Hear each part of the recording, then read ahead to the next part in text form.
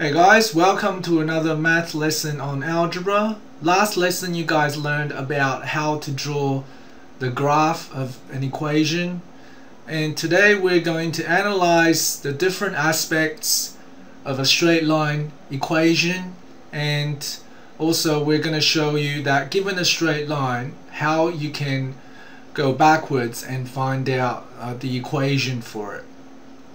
So if you remember uh, last lesson we started off with drawing equations, drawing the graph for equations such as y equals 2x or y equals 5x or y equals 10x and basically the difference is the number in front of x. And this is called the coefficient.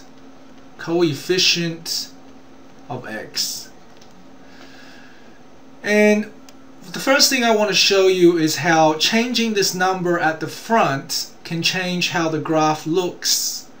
So let's go into Graphmatica, which is a program that you can use to draw graphs. You can simply download this program from graphmatica.com. And the first equation we'll draw is y equals x and you can see that y equals x there is a straight line uh, down the diagonal here. And how it works uh, you should be familiar with uh, drawing the uh, table for it drawing the table of values for it. So when x is 0 y is 0 when x is 2 y is 2 when x is 4 y is 4 and so on Alright, so that is the first equation, y equals x. That's the straight line for it. Now, I want to show you what y equals 2x looks like. Now, the green line that I have just drawn here is y equals 2x. And you can see what has changed is the slope of the graph. How steep the graph is has changed right originally y equals x is not very steep and now y equals 2x makes it steeper. And if we try y equals 4x we get the black line here which is really steep compared to the other two. Now let's try a number smaller than 1 okay so originally we had y equals x which gave us the blue line. Let's try y equals 0.5x. And now we get the dark blue line, uh, which is less steep than the light blue line. So the number in front of x, we call we also call this number here the slope of the graph. And because this number affects the slope of the graph. So the short way of saying that, uh, the jargon that we use is gradient. Okay, so the number in front of x is called the gradient of the straight line. And we also call it M. Now don't ask me why we chose the symbol M. It's like how we chose X and Y from the alphabet. Uh, there is really no, uh, no apparent reason. We just picked a random alphabet and we said M is going to represent the gradient. So the next thing we want to talk about is if you remember we drew an equation such as y equals x plus 2. Now I'm just going to clear all the graphs on my uh, on my Graphmatica. And the first thing I want to draw is y equals x again. So I have the pink line down the diagonal. Now I'm going to try draw y equals x plus 1 and what you can see is this black line is y equals x plus 1 and the slope has not changed right? It is the same steepness as the pink line. Uh, the only thing that has changed is it has moved up vertically by one unit. Now let's try x plus 3 and you can see we got this red line with the same slope as the other lines but uh, it has moved up by 3 units. X plus 5 you can probably guess the light blue line is here and it's the same slope but it's gone up uh, 5 units from our starting point. So the number that we plus or minus after x actually let's do a minus 1 as well. Let's do x minus 2 and you can see we have generated a green line that is moved down by 2 units. So the number after x is the y-intercept. Oops. This number here represents where the line intersects the y-axis. Alright so which is called the y-intercept. Y-intercept. So back in the uh, back in the uh, Graphmatica y equals x. Intercepts the y-axis at uh, the origin 0 0 but if you put plus 1 our new line y equals x plus 1 intersects the y-axis at uh, y equals 1 and if we try plus 3 you can see that the line intersects our y-axis at y equals 3 so basically the number after x plus or minus a certain number that is the y-intercept. So the general formula general formula of a straight line of a straight line equation is y equals mx plus c where m is the gradient and c is the y-intercept which is where the line intersects our y-axis so now we're going to try and work backwards. If I give you a straight line graph, how do you then go backwards and find out what the equation is? So we know that firstly the equation is equal to y equals mx plus c. Right, all straight lines will have this general equation. Now m, which is the gradient How do you find the gradient of a straight line? You use the formula gradient equals rise over run. So what does that mean? Well, if you can remember, gradient is the slope of the line, how steep this line is. So how do you know how steep the line is? Well, firstly, you pick any two points on this line. So let's pick this point here uh, let me use a different color. Let's pick this point here and this point here. Now these two points you can pick them anywhere on this straight line. It'll be the same answer. So the gradient equals rise over run and the rise is simply the vertical distance between these two points so if you look at the if you look at these two points vertically uh, from the point on the left to the point on the right it has risen by 2, 3, 4, 5. The rise is three boxes. One, two, three. So the rise is 3.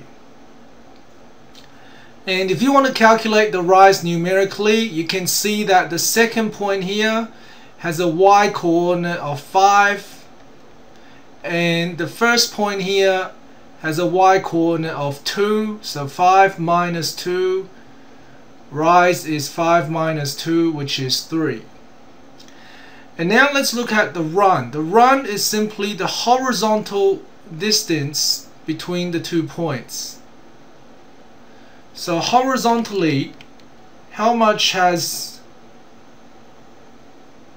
the line, the dot moved from left to right. So the run, which is this horizontal distance, is one unit. Right. From here to here, it's only one box. So run is one. Or if you want to calculate it numerically, you can see the second point has a y coordinate of 1 so the second point here lies on 1 and the first point lies on 0 so 1 minus 0 is 1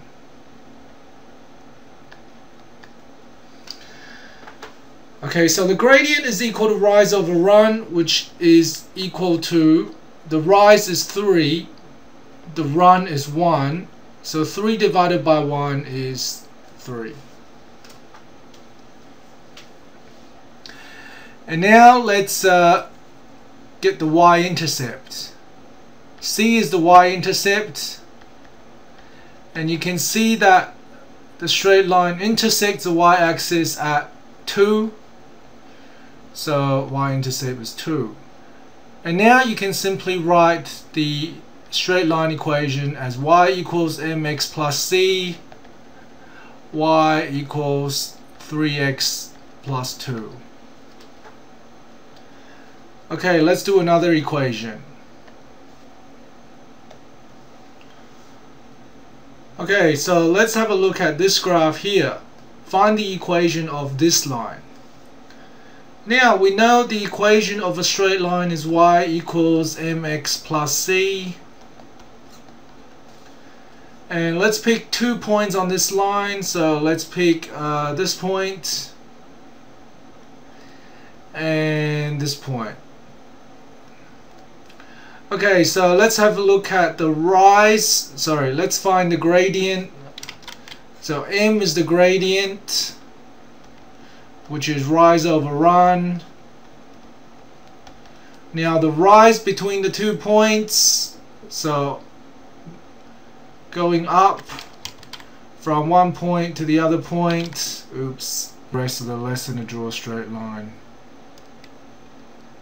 Okay, so the rise from left to right is uh, we have y equals 9 on the second dot, y equals 1 on the first dot. So rise equals 9 minus 1, which is 8. So from left to right, this dot has risen 8 units. Now from left to right, the run is equal to 2 minus 0 which is 2 units. So the rise is 8 units. The run is 2 units. So 8 divided by 2 is 4 now let's look at the y-intercept or the line touches the y-axis at y, y equals 1 so y-intercept is 1 and the general formula for this equation is y equals 4x plus 1. Okay, now you guys are going to try find the equation of a line yourself.